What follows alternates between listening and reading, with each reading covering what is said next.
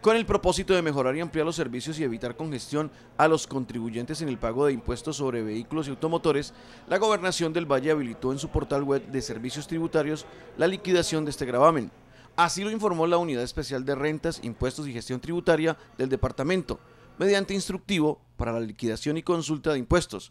Los interesados deben acceder al link www.valledelcauca.go.co, lo cual permitirá generar el formulario de liquidación ingresando la placa del automotor. Sí, ya está funcionando la página web del departamento para la liquidación del vehículo automotor. Lo pueden hacer directamente desde la comodidad de sus casas y ir a las entidades bancarias a pagar los impuestos. Si tienen alguna duda o alguna dificultad, pues se pueden acercar acá y les ayudamos a despejar la duda o ayudar a mirar cómo agilizamos el trámite con el ministerio.